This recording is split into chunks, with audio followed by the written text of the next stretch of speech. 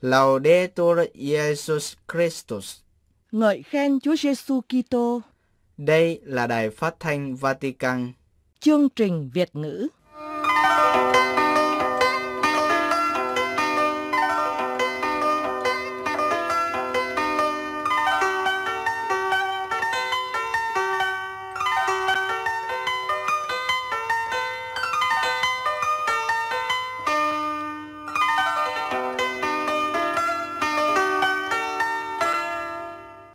Toàn ban Việt ngữ Vatican xin kính chào quý vị thính giả. Trong buổi phát hôm nay, thứ hai 27 tháng 3, trước hết, Tứ Quyết sẽ tường thuật hầu quý vị buổi đọc kinh truyền tin của Đức Thánh Cha Francisco với khách hành hương và các tín hữu tại quảng trường Thánh Phêrô trưa Chúa Nhật hôm qua. Tiếp đến sẽ có một sinh hoạt giáo hội với cuộc phỏng vấn Enzo Bianchi, người sáng lập cộng đoàn Dance Ibose Italia. Lời cầu nguyện là khí giới tốt nhất. Sau đó, chúng tôi sẽ điểm hầu quý vị những biến cố tôn giáo nổi bật trong tuần qua. Và cuối chương trình, anh Phương sẽ gửi đến quý vị con đường ơn gọi của cha Juan Jose Martinez từ một thanh thiếu niên chống đối giáo hội trở thành linh mục. Bây giờ, Tứ Quyết xin gửi đến quý vị một gặp Đức Giáo Hoàng.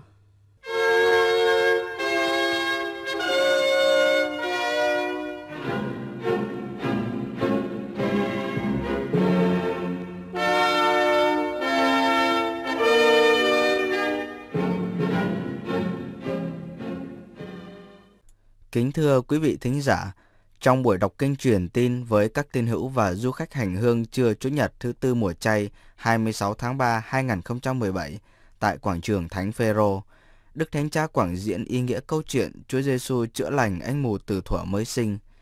Anh mù không chỉ được sáng mắt mà còn nhận được ánh sáng mới là ánh sáng đức tin.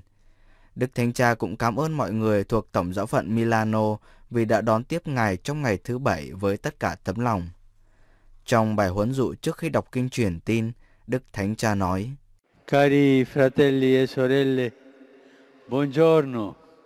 Al centro del Vangelo di questa quarta domenica di Quaresima ci trovano Gesù e un uomo cieco dalla nascita. Cristo gli restituisce la vista e opera questo miracolo con una specie di rito simbolico. Anh chị em thân mến, trung tâm của bài tin mừng Chúa Nhật thứ tư mùa chay hôm nay là Chúa Giêsu và anh mù từ thuở mới sinh. Chúa Kitô đã chữa lành và phục hồi đôi mắt cho anh. Chúa thực hiện phép lạ này với cách thức mang đầy tính biểu tượng. Trước hết, Chúa trộn nước miếng cùng với đất, rồi xoa vào mắt anh. Sau đó, Chúa bảo anh đến hồ Siloe mà rửa. Anh đã đi, rửa và được sáng mắt. Anh ấy là người mù từ bẩm sinh. Với phép lạ này, Chúa Giêsu tỏ cho chúng ta thấy Ngài là ánh sáng thế gian và mỗi người chúng ta cũng mù từ khi mới sinh, vì cho dù chúng ta được dựng nên để nhận biết Thiên Chúa, nhưng vì tội lỗi nên chúng ta cũng mù lòa và chúng ta cần một thứ ánh sáng mới, đó là ánh sáng đức tin và là ánh sáng mà Chúa Giêsu ban cho chúng ta. Thực tế, câu chuyện về người mù trong tin mừng còn mở ra mầu nhiệm Chúa Kitô. Chúa Giêsu hỏi, anh có tin vào con người không? Anh ta đáp lại, thưa thầy, nhưng người là ai để tôi có thể tin vào người? Chúa Giêsu nói tiếp, anh đã thấy người và người đang nói với anh. Anh thưa lại, lạy ngài con tin và anh sắp mình thờ lạy Chúa Giêsu. Những điều ấy làm cho chúng ta phải suy nghĩ về đức tin của chúng ta đức tin của chúng ta nơi Chúa Kitô, nơi con Thiên Chúa. Và đây cũng là lúc thích hợp để nói về bí tích rửa tội, bí tích đầu tiên của đức tin. Bí tích đem lại cho chúng ta ánh sáng nhờ nước và Chúa Thánh Thần. Điều ấy cũng đã xảy ra với anh mù. Anh được mở mắt sau khi anh đi rửa ở hồ Siloe. Anh mù được chữa lành khi anh nhận ra rằng Chúa Giêsu là ánh sáng, là ánh sáng thế gian. Người là ánh sáng khi chúng ta dò dẫm trong bóng tối để kiếm tìm. Chúng ta cũng đã được Chúa Kitô soi sáng nhờ bí tích rửa tội và chúng ta được mời gọi hành xử như con cái của sự sáng. Để sống như con cái của sự sáng, chúng ta cần thay đổi cách nghĩ, cần có khả năng nhận định về con người và sự vật theo một thang giá trị khác, một thang giá trị đến từ Thiên Chúa. Thực vậy, bí tích rửa tội đòi hỏi phải lựa chọn sống như con cái ánh sáng và bước đi trong ánh sáng. Bây giờ các bạn có thể hỏi rằng, bạn có tin rằng Chúa Giêsu là con Thiên Chúa không? Bạn có tin rằng chỉ có Ngài mới có thể thay đổi tâm hồn của bạn không? Bạn có nghĩ là có thể nhìn nhận thực tại giống như Chúa nhìn không? Hay là chúng ta lại không thấy? Bạn có tin rằng Chúa là ánh sáng và Ngài sẽ ban cho chúng ta ánh sáng chân thực không? Bạn sẽ trả lời gì đây? Trong lòng mỗi người hãy tự trả lời. Thế nhưng, ánh sáng chân thực nghĩa là gì? Và bước đi trong ánh sáng nghĩa là gì? Trước hết, điều ấy có nghĩa là hãy bỏ đi những ánh sáng giả dối, thứ ánh sáng lạnh lùng gây tổn thương cho người khác, bởi những thành kiến bóp méo thực tế, bởi những hận thù xét đoán người khác cách không thương xót, bởi những kết án không căn cứ. Nó giống như thức ăn hàng ngày. Khi nói về người khác như thế, bạn đã không bước đi trong ánh sáng, mà chỉ bước đi trong những bóng mờ. Có thứ ánh sáng giả dối khác, nó quyến rũ và mơ hồ. Nó dựa vào lợi ích cá nhân. Nếu chúng ta đánh giá sự vật và con người theo tiêu chí lợi nhuận của chúng ta, theo sở thích của chúng ta, theo uy tín của chúng ta, thì chúng ta không sống theo sự thật trong các mối tương quan và các bối cảnh cụ thể. Nếu chúng ta đi theo con đường chỉ biết tìm lợi ích cá nhân, thì chúng ta đang đi trong bóng tối. Lạy Đức Trinh Nữ Maria, mẹ là người đầu tiên đón nhận Chúa Giêsu ánh sáng trần gian. Xin nhậm lời chúng con cầu nguyện để chúng con nhận được ân sủng, đó là đón mùa chay này với ánh sáng của đức tin và tìm lại được món quà vô giá của bí tích rửa tội mà chúng con đã lãnh nhận. Xin cho ánh sáng mới này biến đổi thái độ và hành vi của chúng con, khởi đi từ những gì nghèo hèn bé nhỏ của chúng con, để chúng con có thể mang lấy những tia sáng của Chúa Kitô. Tiếp đến, Đức Thánh Cha đọc kinh truyền tin và ban phép lành tòa thánh cho mọi người. Angelus Domini nunciavit Mariae. e concepit de Spiritus Sancto. Ave Maria, gratia plena, Dominus tecum, benedicta tui mulieribus et benedictus fructus ventris tui, Iesus. Sancta Maria, Mater Dei, ora pro nobis peccatoribus, nunc et in hora mortis nostre. Amen. Benedicat vos, omnipotens Deus, Pater, et Filius, et Spiritus Sanctus. Amen.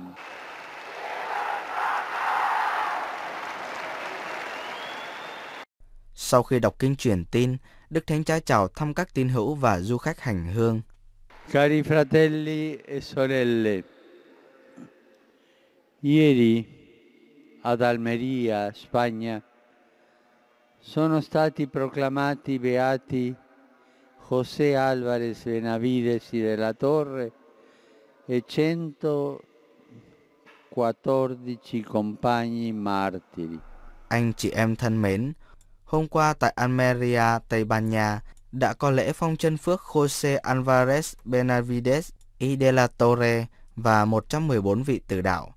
Các ngài là những linh mục, tu sĩ và giáo dân đã anh hùng làm chứng cho Chúa Kitô, làm chứng về sứ mạng hòa bình và hòa giải huynh đệ. Nhờ lời chuyển cầu của các ngài, xin cho giáo hội luôn hiệp nhất trong việc xây dựng nền văn minh tình thương.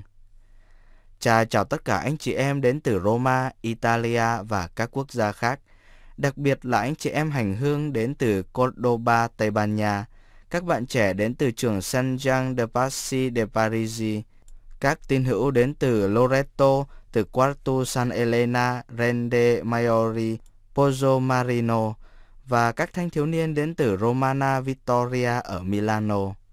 Về Milano, cha muốn nói lời cảm ơn với Đức Hồng Y Tổng giám mục Milano và tất cả mọi người đã tiếp đón cha cách nồng nhiệt ngày hôm qua.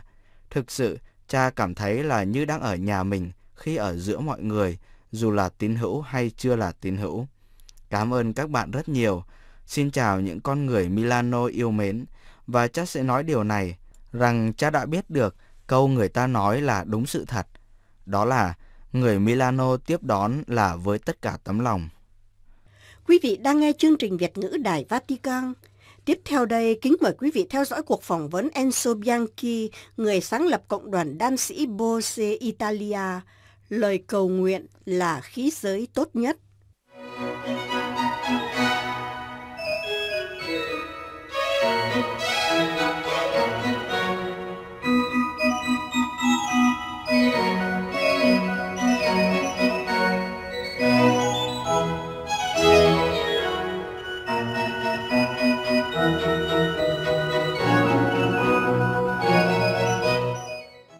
Kính thưa quý vị thính giả, trong những ngày vừa qua, nhà in Vatican đã cho phát hành cuốn sách tựa đề Khí giới tốt nhất, lời cầu nguyện theo Đức Giáo hoàng Francisco do Đức Hồng E. Luis Antonio Tagle, Tổng giám mục Manila đề tựa. Sách gồm các bài phỏng vấn Đức Thánh Cha cũng như nhiều hồng y giám mục khác nhau, trong đó có Đức Hồng Y Angelo Comastri và cha Corrado Maggioni. Sau đây, chúng tôi xin gửi tới quý vị bài phỏng vấn tu sĩ Enzo Bianchi, sáng lập viên cộng đoàn Dantu Bose tỉnh Biella, Bắc Italia và là tu viện trưởng tu viện này cho tới tháng riêng vừa qua. Thầy Enzo Bianchi sinh năm 1943. Sau khi theo học kinh tế tại Đại học Torino, Enzo rút lui vào cô tịch và cùng với một số bạn bè sống đời cầu nguyện, chiêm niệm và làm việc tay chân kiểu đan tu. Ngày 8 tháng 12 năm 1965, công đồng chung Vatican II kết thúc là ngày khai sinh cộng đoàn Bose, quận Magnano, tỉnh Biella, Bắc Italia. Từ từ có thêm nhiều tu huynh và nữ tu công giáo và tin lành gia nhập cộng đoàn, được thừa nhận như hiệp hội tư của các giáo dân. Sau khi củng cố cộng đoàn, thầy Bianchi dành thời giờ rao giảng trong cộng đoàn, cũng như các giáo hội địa phương, công giáo cũng như tin lành và chính thống. Đã hai lần thầy được đề nghị thụ phong linh mục, nhưng thầy muốn chỉ là một tín hữu Kitô thường. Thầy Enzo Bianchi cũng đã cộng tác viết bài cho các nhật báo La Stampa, La Repubblica, Osservatore Romano, Avvenire, Famiglia Cristiana, La Croix, Panorama và La Vie bên Pháp. Thầy đã là giám đốc Nguyệt San lời, thần khí và sự sống trong 15 năm cho tới năm 2005 và thành viên ban biên tập Nguyệt San Quốc tế Concilium. Trong các năm 2008 tới 2012, thầy được Đức Biển Đức 16 chỉ định làm chuyên viên tham dự Thượng Hội đồng Giám mục Thế giới về lời Chúa và tái truyền giảng tin mừng. Năm 2014, thầy được Đức Thánh Cha Francisco chỉ định làm cố vấn Hội đồng Tòa Thánh thăng tiến hiệp nhất các Kitô hữu. Thầy đã nhận được nhiều giải thưởng và là tác giả của gần 30 cuốn sách. Thưa thầy Bianchi, xưa kia người ta nói cầu nguyện là hít thở. Ngày nay, trên bình diện thiêng liêng, dưỡng khí đang ngày càng hiếm hoi. Vậy gọi lời cầu nguyện là hơi thở của linh hồn, như Đức Thánh Cha Francisco đã nói, có nghĩa là gì và nó đòi hỏi cái gì? Các thế hệ mới có lẽ không còn biết dùng kiểu nói này nữa cả khi họ cầu nguyện. Ngày nay lời cầu nguyện được quan niệm một cách rất khác biệt với ngày xưa. Nó là một dừng lại, một ngưng nghỉ, một việc suy tư trong chiêm ngắm, nhất là tìm lắng nghe tiếng Chúa nói với con tim chúng ta. Chắc chắn là lời cầu nguyện vẫn là hơi thở của linh hồn và của cuộc sống nội tâm, chứ làm sao nó có thể là khác được. Nhưng nền nhân chủng học đã thay đổi, thế giới thực tế hơn, các kiểu và hình thức cầu nguyện đã thay đổi, chứ không như trước thời tân tiến nữa. Với việc thay đổi thời đại, cầu nguyện vẫn là kiểu diễn tả bẩm sinh của tâm tình tôn giáo trong cuộc sống. Tôi không biết mình có tin hay không tin, nhưng tôi biết là mình cầu nguyện. Nhà văn Tây Ban Nha ông Salvador de Madariaga đã nói như thế. Nhưng nếu như thế thì đâu có thể là lời cầu nguyện giả thiết của một người vô thần, thưa thầy. Ngày nay có nhiều người nói tôi không biết tôi có tin đây một Thiên Chúa ngôi vị hay không, nhưng tôi cầu nguyện. Trong nghĩa chúng ta nói dành thời giờ cho sự chiêm niệm, cho việc suy gẫm, trong việc ở với chính mình. Đó là điểm đặc thù của con người thuộc mọi truyền thống văn hóa, tinh thần và tôn giáo. Tự vấn mình, tự đặt ra các câu hỏi nền tảng, tìm ra một câu trả lời. Có nhiều người vô thần thú thật với tôi rằng trong tận cùng thẳm con người của họ, họ lắng nghe tiếng nói của lương tâm, suy niệm, đọc các sách nhân văn và qua đó họ tìm trả lời cho các câu hỏi nóng bỏng của cuộc sống.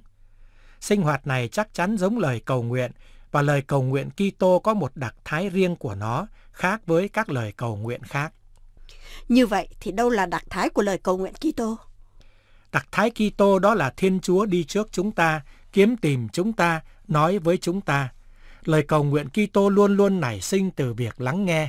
Đây là điều có giá trị đối với do Thái giáo cũng như Kitô giáo. Trước hết phải lắng nghe Thiên Chúa. Điều phi thường trong đức tin của chúng ta đó là một Thiên Chúa nói với chúng ta. Vì vậy, bước đầu tiên của lời cầu nguyện Kitô là đặt để mình trong tư thế lắng nghe.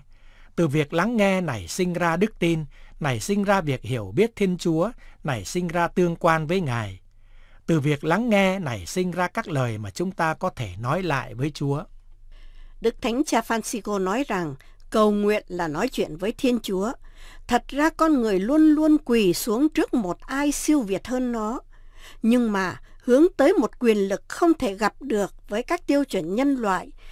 Đó lại không phải là sự điên rồ hay sao thưa tu huynh? Có thể là vậy, nhưng tôi thích trả lời không phải với các diễn văn lý thuyết mà là với kinh nghiệm cá nhân của tôi.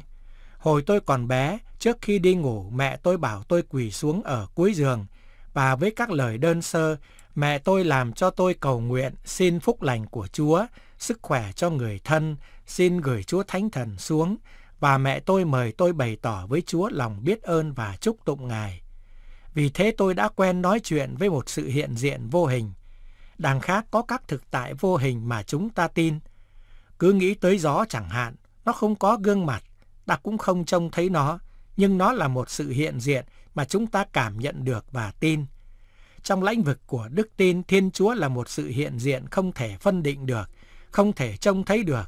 Thế mà chúng ta không chỉ tin nơi Ngài, mà cũng có thể nói chuyện với Ngài nữa, tín thác chúng ta cho Ngài và chờ ơn thần khí của Ngài. Tuy nhiên, cầu nguyện không phải giống nhau trong các tôn giáo. Có các khác biệt cả trên bình diện thực hành. Chẳng hạn trong Hồi giáo, tín hữu phải cầu nguyện ngày 5 lần, trong khi trong Kitô giáo không có một cấu trúc hàng ngày cứng nhắc như vậy. Đây là một lợi điểm hay là một thiếu sót thưa thầy? Đúng vậy, nhưng tín hữu phải cho mình vài hẹn hò. Cầu nguyện ban sáng và ban chiều không phải chỉ được thực thi bởi các đan sĩ, nhưng bởi tất cả mọi người.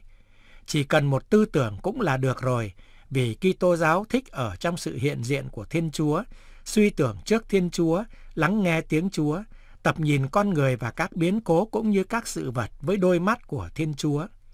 Kiểu cầu nguyện này gọi là chiêm niệm, chúng ta có thể thực hành trong mọi lúc, trong mọi hoàn cảnh. Có thể nói với Thánh Basilio rằng lời cầu nguyện Kitô là một nhận thức về Thiên Chúa, hay cảm nhận rằng Thiên Chúa, hay nhận ra rằng Thiên Chúa ở với chúng ta, nhìn chúng ta và liên lỉ đổ tình yêu thương của Ngài trên chúng ta. Đó là nòng cốt của lời cầu nguyện Kitô và chắc chắn là không cần có một giờ giấc nào đâu. Tất cả những điều này để khi cầu nguyện chúng ta không phung phí nhiều lời như dân ngoại thường làm. Chúa Giêsu cảnh cáo có đúng thế không thưa thầy? Vâng, đúng vậy. Có nguy cơ là trượt vào lời cầu nguyện ngoại giáo mà nhà văn Lucrezio châm biếm gọi là sự mệt nhọc của các thần linh vì quá nhiều lời. Đây cũng là nguy cơ Kitô hữu có thể gặp khi nghĩ rằng thuyết phục Thiên Chúa theo các ước mong của mình, bắt Chúa theo ý riêng của mình bằng cách nói nhiều lời. Tệ hơn nữa là có nhiều lời cầu nguyện trở thành lời bép xép thiêng liêng, nói xấu nói hành trước Thiên Chúa. Không, điều đầu tiên của lời cầu nguyện là lắng nghe. Chỉ cần một ít lời nói lên với sự kín đáo như Chúa Giêsu đã dạy chúng ta trong kinh lạy cha. Ít lời xin, lời xin chính yếu, lương thực và lòng thương xót. Chúng ta không cần gì khác. Rất tiếc là trong thời đại vi tính này, phung phí lời nói là một nguy cơ lớn. Ngày nay người ta cầu nguyện lần hạt mân côi, đọc kinh nhật tụng, chia sẻ các thiện ích thiêng liêng với các phương tiện truyền thông. Phải có các điều kiện nào để sự đồng ý giữa máy móc vi tính và lời cầu nguyện có thể hoạt động thưa thầy Bianchi?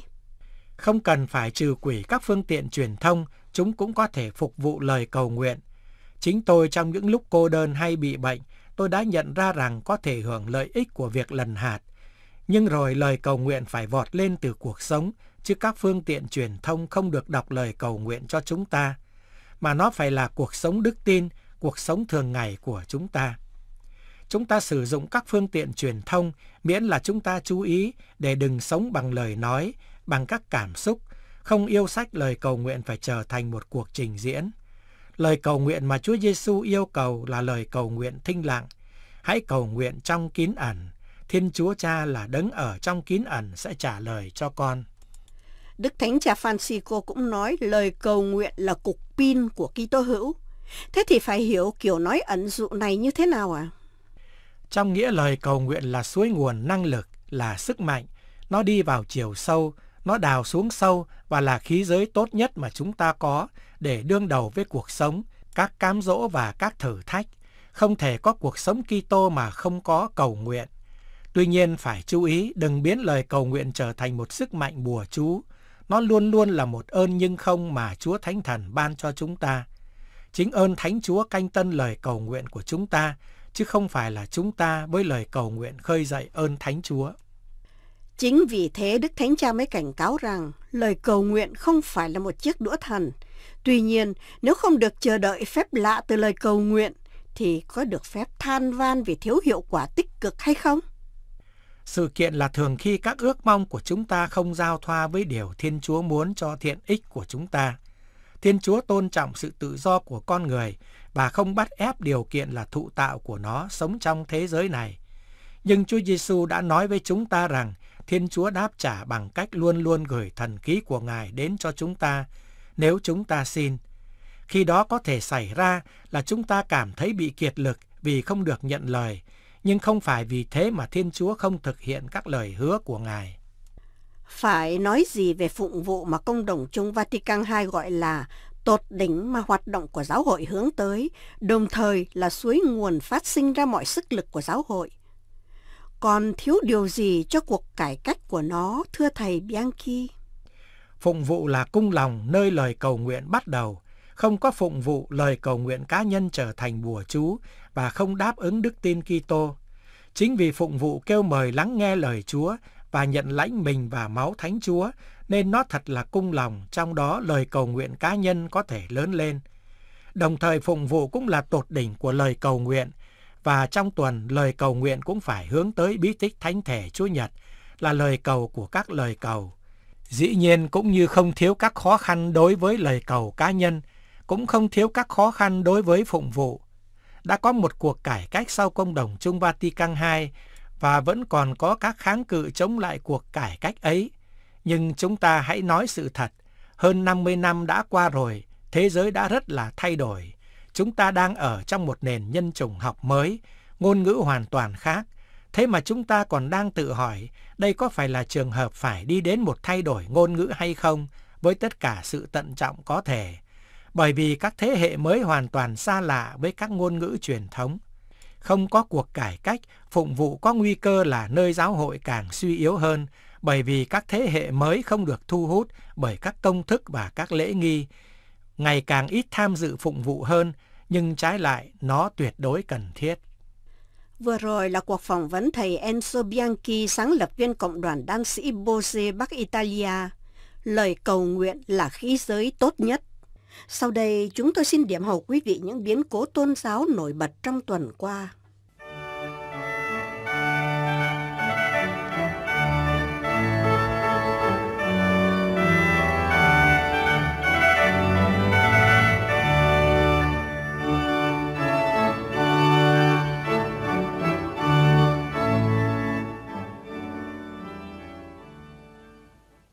Kính thưa quý vị thính giả, hôm thứ Ba 21 tháng 3, Đức Thánh Cha đã công bố sứ điệp video nhân dịp Ngày Quốc tế Giới Trẻ lần thứ 32 sẽ được cử hành ở cấp giáo phận vào Chủ nhật lễ lá mùng 9 tháng 4 tới đây, với chủ đề là câu nói của mẹ Maria, Đấng toàn năng đã làm cho tôi những việc trọng đại.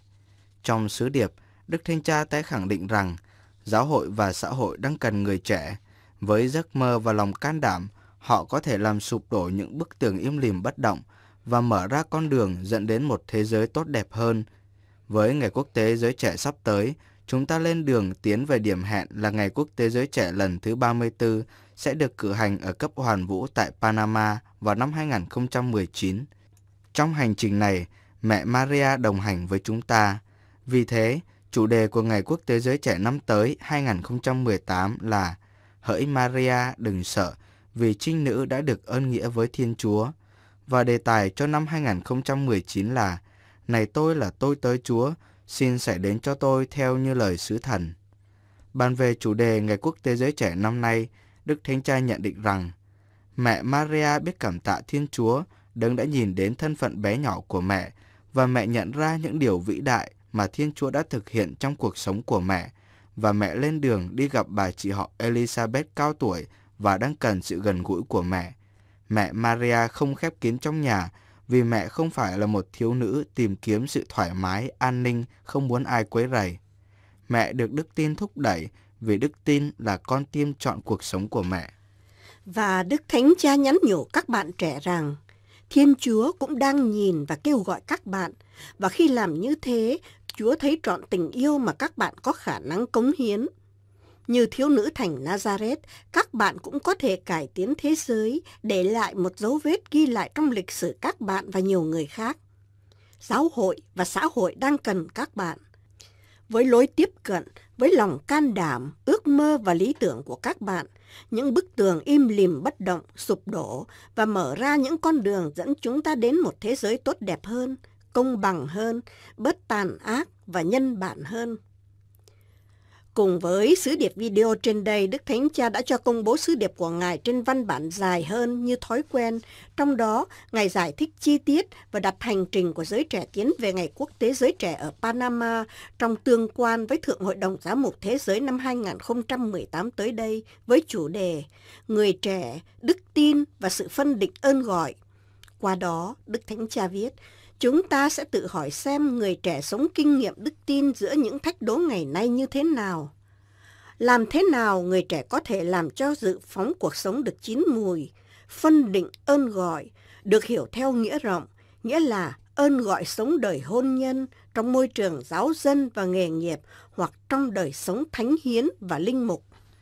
Một tin được dư luận chú ý nhiều trong tuần qua là Đức Thánh Cha tái bày tỏ đau buồn sâu đậm của Tòa Thánh và toàn thể giáo hội công giáo về cuộc diệt chủng người Tutsi ở Rwanda và lên đời với các nạn nhân và những người tiếp tục chịu đau khổ vì hậu quả của những biến cố bi thảm này.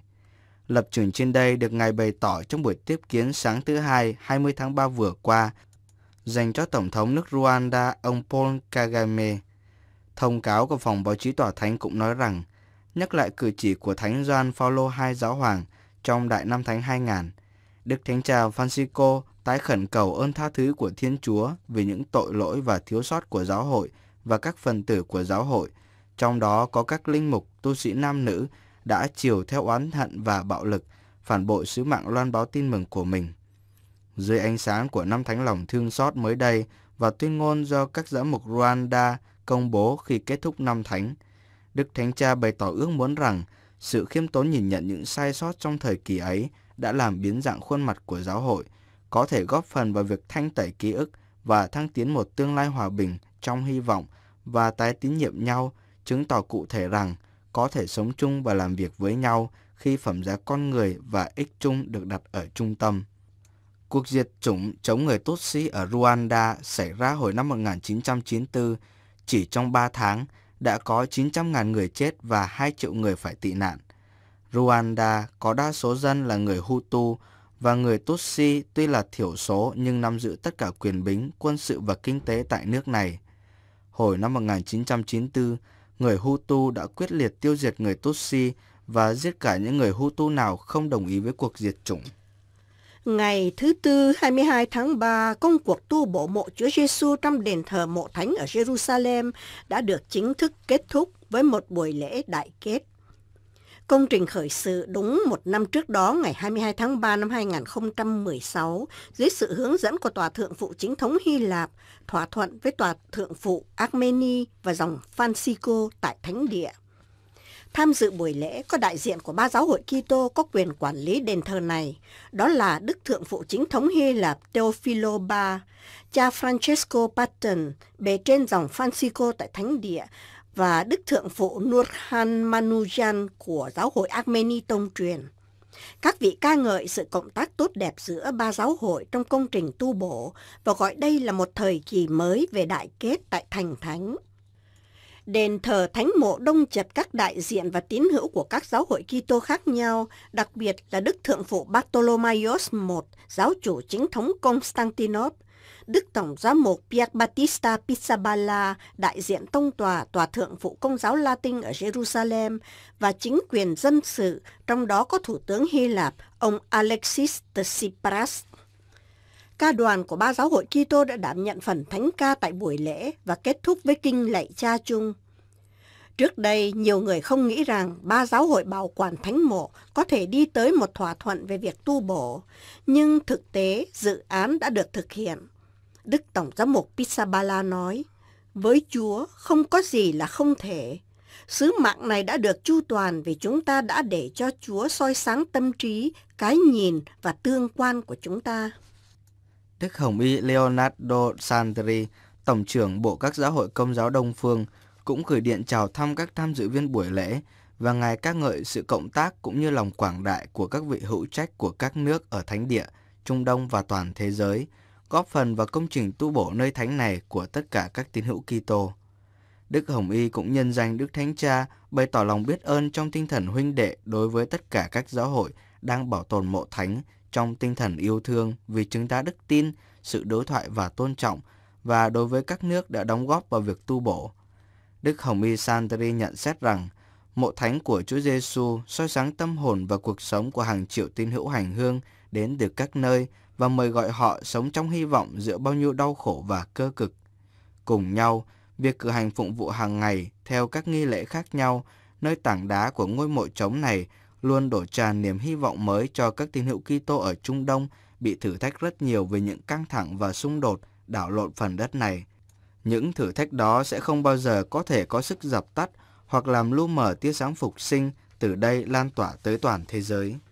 Hôm thứ Tư 22 tháng 3, quan sát viên thường trực của Tòa Thánh tại Liên Hiệp Quốc ở New York, Đức Tổng giám mục Bernardito Ausa, đã kêu gọi tất cả các quốc gia nhìn nhận trách nhiệm của mình trong việc săn sóc và chia sẻ nước uống. Đức Tổng giám mục Ao Gia bày tỏ lập trường trên đây trong bài tham luận trong phiên họp tại Liên Hiệp Quốc nhân ngày Thế giới về nước, một ngày được các cơ quan quốc tế và các chính phủ thiết lập để lưu ý về nhu cầu của mọi người cần được nước trong lành, các hệ thống vệ sinh tại các nước đang phát triển. Tổ chức quốc tế WaterAid có trụ sở tại London, chuyên giúp các cộng đoàn có nước trong sạch và có hệ thống vệ sinh cho biết hiện nay khoảng 663 triệu người tức là 10% dân số thế giới không tìm được nước trong lành mà họ cần. Trong bài tham luận, Đức Tổng giám mục Ausa nhấn mạnh nhu cầu cấp thiết phải bảo vệ và chăm sóc trái đất, nhất là các nguồn nước. Ngài nói, đạt được nước uống trong lành là một quyền căn bản của con người và là một điều kiện để phát triển dài hạn. Vì thế, vấn đề này cần phải được đặt lên hàng đầu và nơi trọng tâm của chính sách công cộng, đặc biệt là trong các chương trình liên quan đến cuộc sống của những người dân nghèo. Trước khi kết thúc chương trình, anh Phương xin trình bày cùng quý vị ơn gọi của cha Juan Jose Martinez từ một thanh thiếu niên chống đối giáo hội trở thành linh mục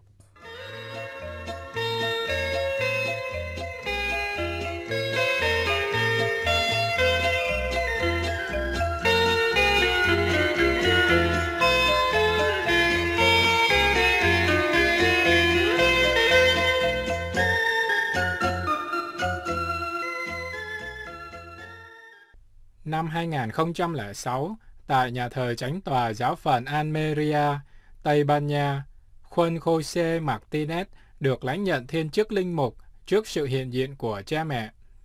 Ít ai biết rằng hành trình đến với ơn gọi của cha Martinez là một hành trình dài, từ một thanh niên chống đối và chén ghét giáo hội, rồi trở lại công giáo và ước muốn trở thành linh mục, nhưng lại gặp sự phản đối quyết liệt của người cha.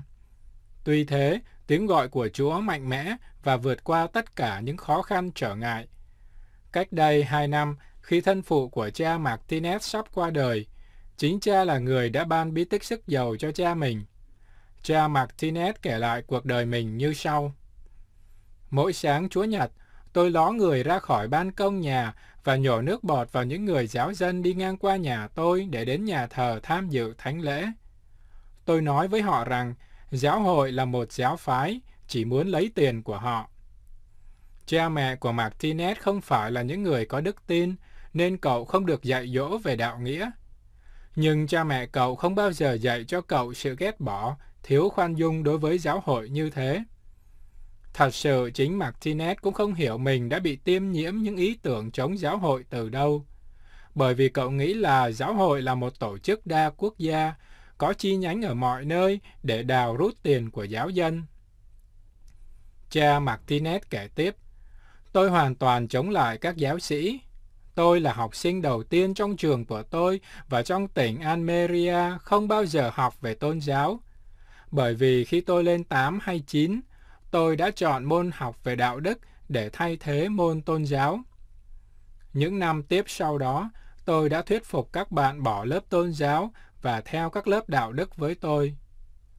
Cuối cùng, không còn học sinh nào học môn tôn giáo, tất cả đều học môn đạo đức. Một ngày vào tháng Giêng năm 1995, Martinez được một số bạn rủ đi đến một nhóm cầu nguyện của phong trào canh tân đặc sủng của công giáo. Martinez không muốn đi đến đó vì cậu không muốn bị họ tẩy não.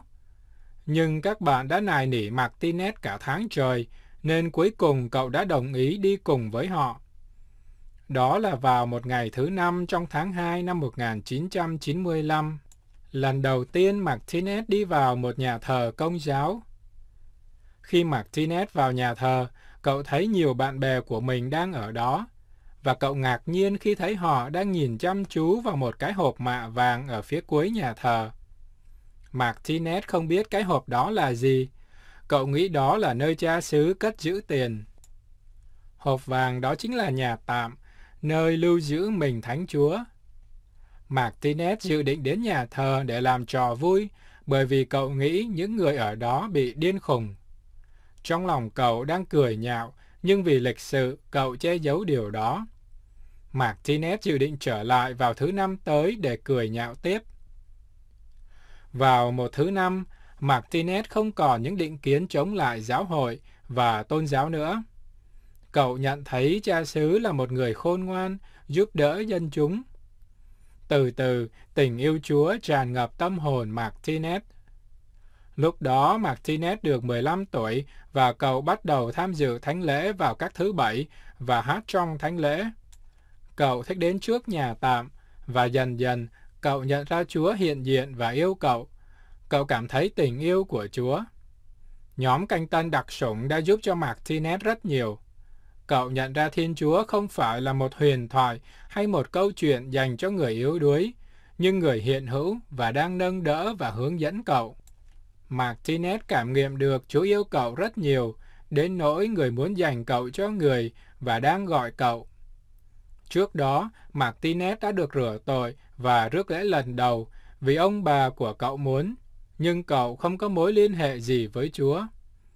Nhưng giữa tiến trình hoán cải trở lại, cậu đã được lãnh nhận bí tích thêm sức và điều này đối với cậu thật sự là một quà tặng. Mẹ của Martinez đến tham dự, nhưng còn cha cậu thì không. Ngày hôm đó, Martinez đã thưa với Chúa, con là của Chúa và bất cứ điều gì Ngài muốn.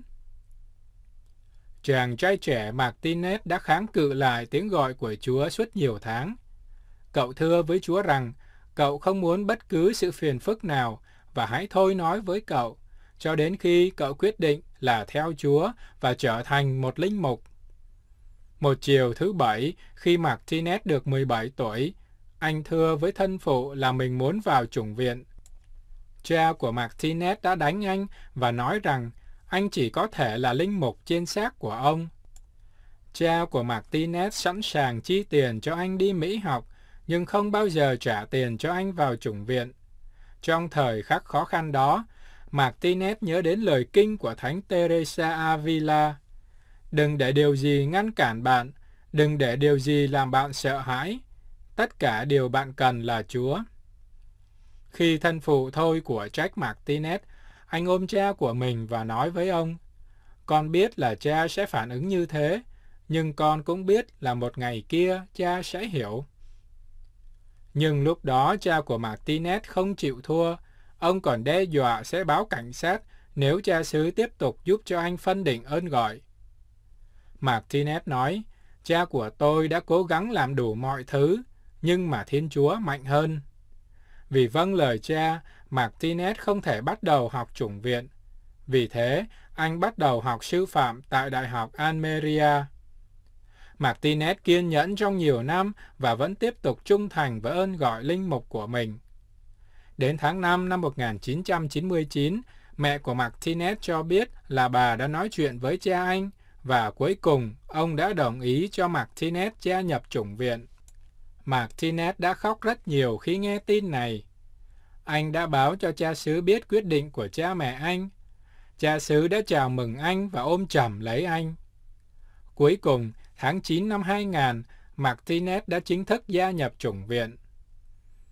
Khi Martinez được lãnh nhận thánh chức linh mục vào năm 2006, cha của Martinez cũng hiện diện trong thánh lễ. Cha Martinez chia sẻ, Cha tôi không muốn tôi làm linh mục, nhưng ông thấy tôi hạnh phúc, và dù ông hoàn toàn chống lại các giáo sĩ, ông đã quyết định rằng hạnh phúc của con ông ở trên ý định của ông. Và nếu tôi hạnh phúc, dù ông không muốn, ông phải chấp nhận ý định của tôi. Cách đây hai năm, trước khi thân phụ của cha Martinez qua đời, cha đã ban bí tích sức giàu cho ông. Cha chia sẻ, khi ai đó nói với tôi là thân phụ tôi không tin Chúa, tôi luôn nói rằng ngay cả tôi cũng đã không tin Ngài. Nhưng tôi đã lầm bởi vì tôi đã khám phá ra hạnh phúc thật mà Chúa Giêsu ban cho tôi. Nếu bạn không hoàn toàn hạnh phúc, hãy cầu xin Chúa giúp bạn, bởi vì chỉ có người sẽ ban cho bạn hạnh phúc mà tâm hồn bạn cần. Chương trình của chúng tôi đến đây chấm dứt. Toàn ban Việt ngữ xin tạm biệt và mong gặp lại quý vị trong các lần phát tới. Nguyện xin Đức Chúa Giêsu Kitô nhân lành ban muôn ơn cho quý vị và toàn gia quyến nhờ lời truyền cầu của Đức Mẹ Maria, Thánh cả Giuse và các thánh tử đạo Việt Nam. Laudetur Jesus Christus, ngợi khen Đức Chúa Giêsu Kitô.